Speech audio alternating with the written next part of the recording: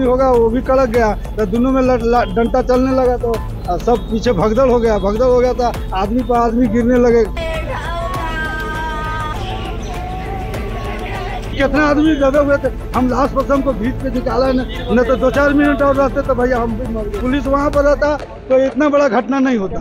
मामला क्या है, सब लाइन में भीड़, काफ़ी भीड़ थी, लाइन में लगे हुए थे सब। लाइन में लगे हुए थे तो एक फूल वाला जो सबसे ऊपर है ना, वो फूल वाला से बम का कोई बात लेके झगड़ा हो गया कि हमारे दुकान के तरफ़ की झुक रहे हो। तो ये भी लोकल आदमी होगा, वो भी कड़क गया। तो दोनों में लड़- चलने लगा तो सब पीछे भगदड़ हो गया। भगदड़ हो गया था, आदमी पर आदमी गिरने लगे, काफ़ी भीड़ था। आदमी पर कितना लोग चप के मर गए, कितना लोग घायल हो गए। फूल, सबसे ऊपर जो फूल माली है ना, वही ऐसे किया था।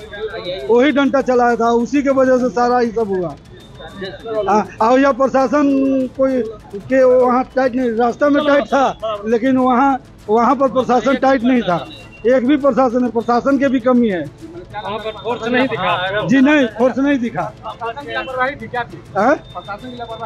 प्रशासन के भी भैया लापरवाही थी। प्रशासन रहता ना तो फिर कैसे जब मर गया सब लाश ढोर लिए सब इधर उधर छुपाए। उसके बाद प्रशासन टाइट हो गया तो कैसे फिर आधा घंटा बाद जल चढ़ना चालू हो गया और सब लाइन में लग गए सब। प्रशासन की लापरवाही किसे मानते हैं? घटना का पीछे क्या कारण मानते हैं? मेन कारण तो फूल वाला है दूसरा कारण प्रशासन है।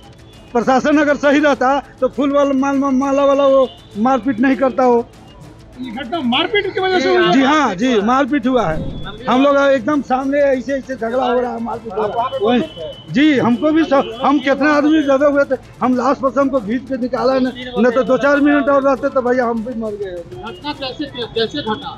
घटने के घटना भी भगदड़ के कारण घटा। क्या वहाँ पुलिस थी? पुलिस वहाँ पर एक भी नहीं दिखी। हर रास्ता में हर हर जगह पुलिस थी, लेकिन वहाँ पर नहीं थी। पुलिस वहाँ पर रहता तो इतना बड़ा घटना नहीं होता। मेरे ख्याल से पचास साठ के आसपास। जी। मौत तो कम से कम दस पंद्रह से कम नहीं हुआ होगा।